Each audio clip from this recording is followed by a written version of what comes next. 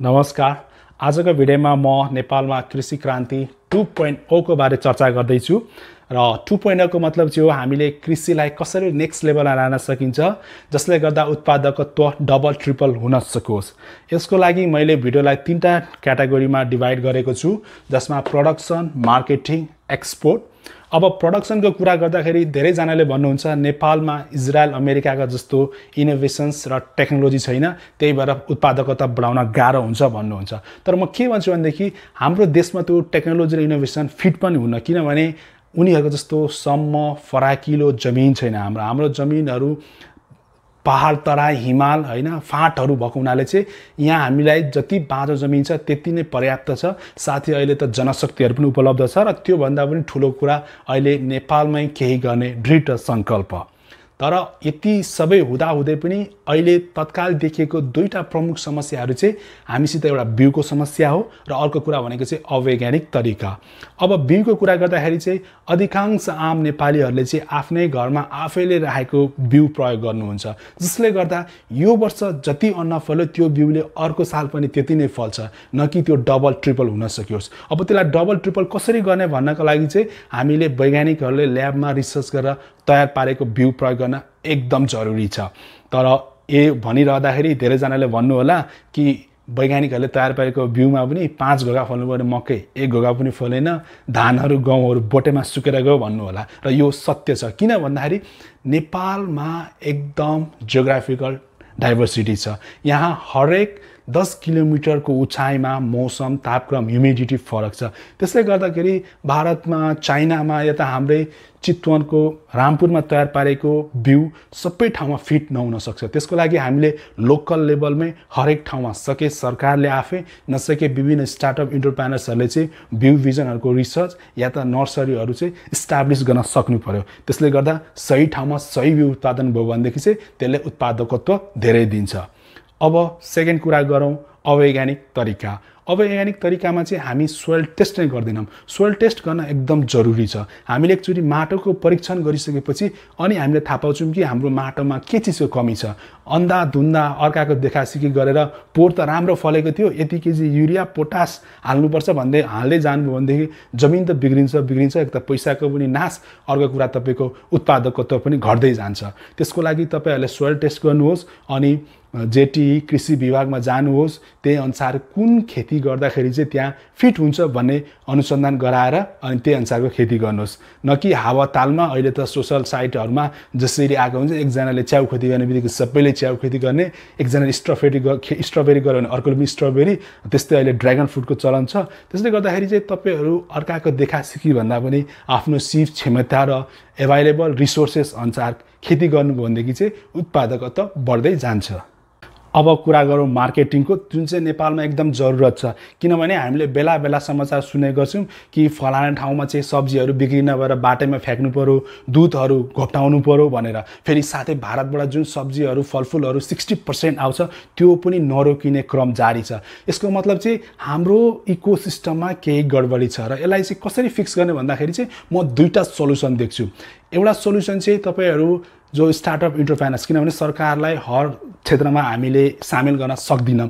र स्टार्टअप इन्टरप्राइनर जो बिजनेसम्यानहरू हुनुहुन्छ उहाँलाई उहाँहरूलाई के भन्छु भनेदेखि तपाईँहरूले सानोतिनो हटिया गुद्री पसलहरूमा जानुहोस्। अनि त्यहाँनिर अब कसैले पाँच कट्ठामा कसैले दस धुरमा कसैले पाँच बिघामा उत्पादन गरेको सानो किसानहरूले जुन उत्पादन गरेको सब्जी हुन्छ त्यो प्रायः कस्तो हुन्छ भने एकै सिजनको हुन्छ। आलुको सिजनमा आलु मात्रै आउँछ टमाटरको सिजनमा टमाटर मात्रै आउँछ। उहाँहरूलाई चाहिँ अनि मार्केटमा अब उपभोक्ताले किनिदिँदैन किनभने त्यो आवश्यकभन्दा बढी उत्पादन भएको हुन्छ। त बिक्री नभएर चाहिँ उहाँहरू त्यसलाई चाहिँ फाल्नु या त अब कौडीको भाउमा बेच्न एकदम जरु बाध्यता पर्छ। त्यही भएर तपाईँहरूले चाहिँ त्यहाँ गएर त्यो सब्जीहरूलाई साना साना हटिया गुद्रीबाट उठाइदिनु भयो भनेदेखि तपाईँ त्यसलाई उठाएर ल्याउनुहोस् अनि आफ्नो एउटा सेन्ट्रल गोदाम बनाउनुहोस्। त्यो सेन्ट्रल गोदाममा अब कुहिने नकुहिने कस्तो के खाले होइन? त्यसलाई अनि तपाईँहरू अब यसरी प्याकेटमा राख्नुहोस् है। अब यो प्याकेटमा के छ? यो मकै त हर महिना फल्दैन। फलेको बेला तपाईँ त्यसलाई स्टोर गर्नुहोस् प्याकेजिङ गर्नुहोस् होइन? अब विभिन्न सागसब्जीहरूलाई पनि त्यो प्याकेजमा राख्नुहोस् अनि तपाईँहरूले चाहिँ आफ्नो एक एकवटा कोल्ड स्टोरेजहरू खोज्नुहोस् या बनाउनुहोस् त्यहाँ स्टोर गर्नुहोस्।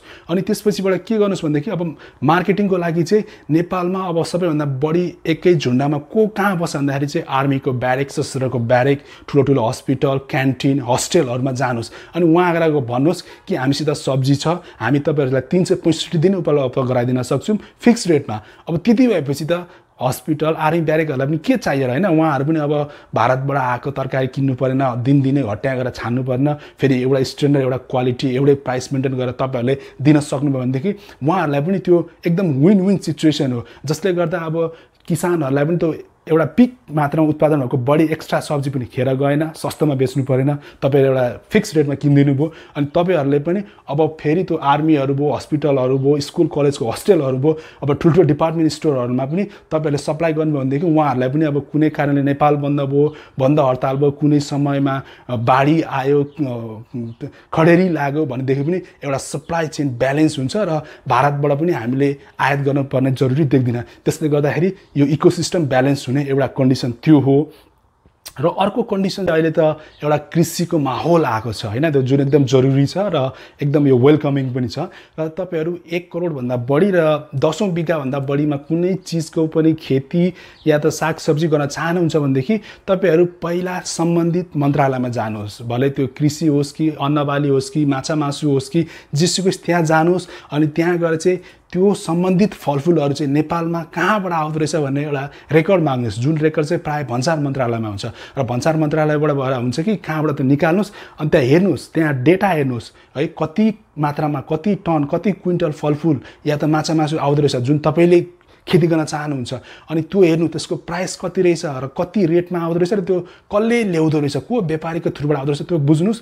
त्यति गरिसकेपछि अनि तपाईँले आफूले खेती गर्दाखेरि चाहिँ कति मात्रामा तपाईँ उत्पादन गर्न सक्नुहुन्छ कति रेटमा दिन सक्नुहुन्छ र त्यो रेटसित तपाईँको रेट मिल्छ कि मिल्दैन त्यो विचार गर्नुहोस्। अनि जुन मानिसले व्यापारीले त्यसलाई विदेशबाट ल्याउँदो रहेछ उसित बसेर कुरा गर्नुहोस्। उसलाई के भन्नुहोस् भनेदेखि तपाईँ बाहिरबाट ल्याउनु हुँदो रहेछ यति रेटमा यति मात्रामा मै उत्पादन गर्छु र यति रेटमा बेच्नु होला भनेर कुरा गर्नुहोस्। त्यस्तोमा के हुन्छ भनेदेखि तपाईँ त एउटा किसान हो तपाईँलाई उत्पादन गर्न मात्रै आइडिया छ तर तपाईँलाई बजारमा च्यानलिङ होइन इको सिस्टममा जुन नेटवर्किङ गर्न थाहा छैन तर उहाँहरू भनेको पहिलादेखि नै बसिरहेको खेलाडी हो उहाँहरूको साथ पाउनुभयो भनेदेखि त्यो सजिलै तपाईँको प्रडक्सनहरू मार्केटमा जान्छ।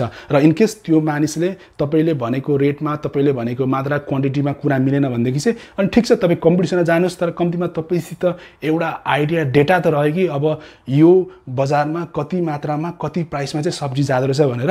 अब यस्तो नहोस् कि तपाईँले आलु खेती गर्नुभयो तपाईँले उत्पादन गरेको आलु दस रुपियाँ केजी भयो भले त्यो व्यापारीले भारतबाट सस्तोमा आठ रुपियाँ केजी ल्यायो भने त उपभोक्ताले त सबैभन्दा सस्तै आलु किन्यो। तपाईँ त अब टाँट पल्टिनु भयो त्यही भएर ठुलो लगानी गर्नुभन्दा अगाडि जोखिम बोल्नुभन्दा अगाडि चाहिँ एउटा वेल डकुमेन्टेड रिसर्च गर्न एकदम जरुरी छ। अब कुरा गरौँ एक्सपोर्टको हामीले एक्सपोर्ट नगरेको होइन हामीले एक्सपोर्ट गरिरहेको छौँ। जस्तो नेपालको छुर्पी चाहिँ संसारको सबैभन्दा टप सेलिङ डग फुड हो। हामीले वर्षको पाँच अरबभन्दा बढीको छुर्पी मात्रै निर्यात गर्छौँ। त्यस्तै नेपालको अलैँची पनि गल्फमा खुब रुचाइन्छ। तर पाकिस्तानी र इन्डियन व्यापारीहरूले चाहिँ मलेसियाको सानो अलैँची र नेपालको ठुलो अलैँची मिक्स गरेर बेचेको हुनाले चाहिँ क्वालिटी इस्यु आएको हुनाले चाहिँ अहिले त्यो होलमा छ? नेपालको चिया तर अब त्यो चाहिँ अहिले रोकिदिइरहेको छ भारतले। त्यस्तै कफीको पनि अहिले राम्रो डिमान्ड छ हनीको राम्रो डिमान्ड छ। यस्ता धेरै कुराहरू छन् जसलाई चाहिँ हामीले एउटा राम्रो ब्रान्ड सर्टिफिकेसन गर्न सक्यौँ भनेदेखि विदेशमा एउटा ठुलो स्कोप छ। जस्तो अब यो हेरौँ। अब यो हिम शेर्पा हिमालयन सल्ट नाम झट्ट सुन्दाखेरि जसले पनि यो त नेपालको होला भनेर सुन्छ नि तर यो खासमा पाकिस्तानी कम्पनीको। र उनीहरूले एक वर्षमा एघार अर्बभन्दा बढीको यो नुन मात्रै बेच्छ। वेस्टर्न कन्ट्रिजमा। त्यस्तै हामीले पनि हरेक चिजको राम्रो स्कोप छ। बस त्यसलाई चाहिँ एउटा ब्रान्ड र कम्पोजिसन। किनभने विदेशीहरूले किन्नुभन्दा अगाडि त्यसमा कति मिनरल्स छ के केबाट बनेको छ एक्सपायरी डेट सबै हेर्छन्। त्यो दिन सक्यो भनेदेखि त्यो एप्रुभल भयो भनेदेखि एभ्रिथिङ बिक्री हुन्छ नि। जस्तो अब अहिले त कतार मलेसिया साउदीको डिपार्टमेन्ट स्टोरहरूमा पनि नेपालको तरकारीहरू आरामले पुग्न थालेको छ नि। त्यही भएर अब हामीले चाहिँ कसरी हुन्छ त्यसलाई प्रोसेसिङ गरेर प्याकेजिङ गरेर चाहिँ यसलाई हेल्दी फुड बनाएर दिन सक्यो भनेदेखि राम्रो स्कोप छ। र अर्को कुरा चाइनाबाट भर्खर नयाँ रेलवे ट्र्याक खुलेको छ। अब त्यसबाट हजारौँ कन्टेनर महिनै पछि आउँछ। त्यसको मतलब नेपालमा चाहिँ व्यापार घाटा बढ्नु हो। अब चाइनाको कमजोरी के भनेदेखि चाइनालाई हरेक वर्ष सेभेन बिलियन डलर नेपालको कुल बजेटको आधीभन्दा बढी पैसाको चाहिँ सुँगुरको मासु चाहिन्छ बङ्गुरको मासु। अब नेपालमै हामी बङ्गुर फार्म खोलौँ न।